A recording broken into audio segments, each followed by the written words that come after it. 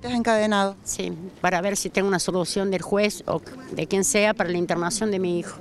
¿Cómo es el caso de tu hijo? El caso de mi hijo tiene problemas psiquiátricos y de adicción. Tengo todos estos papeles, más de 40 denuncias hechas por violencia familiar. Eh, tengo botón antipánico, pero si la policía cumple, porque él va apenas yo aprieto el botón antipánico, pero la parte de, acá de tribunales no me dan una respuesta. No, no logro la internación involuntaria de mi hijo. Mi hijo le reventó un vaso en la cara a mi otro hijo, cae con cuchilla y según para la pericia psiquiátrica de tribunales mi hijo no, es, agresivo. Y tengo denuncia hasta ayer, sin ir más lejos, eh, una cuchilla que encontramos que él se mete de pre por mi casa. En, la comisaría de Banda Norte y seguimos, y seguimos, día a día, todo un calvario. Margarita, vos sos del presidente de la vecinal, ¿no? Sí. ¿Cómo es el apellido tuyo? El Lucero Margarita. Lucero Margarita, sos de la vecinal de las Delicias.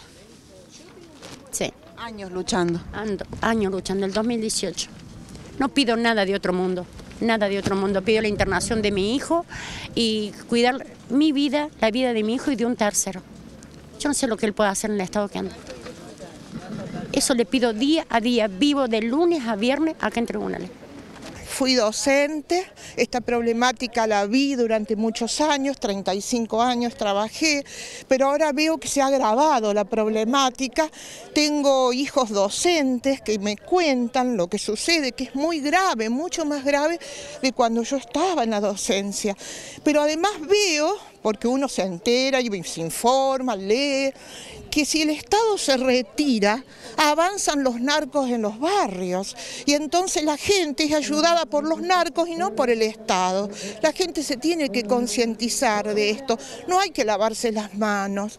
Estas pobres madres crían a sus hijos solas, entonces hay que dar una, una mano, no es un problema de otros, es un problema social y, la justicia, por favor los señores jueces, que se encarguen de hacer cumplir la ley, que ayuden a estas personas, porque bueno, acá no hay dinero, pero eh, hay mucho, mucho sentimiento, mucho dolor, una familia que está destruida y no dejemos avanzar esto. Comprometámonos con, jóvenes, con una sociedad más, más sana, con jóvenes que tengan espacio donde puedan ejercer en libertad y los deportes, talleres y también una asistencia social a esas familias.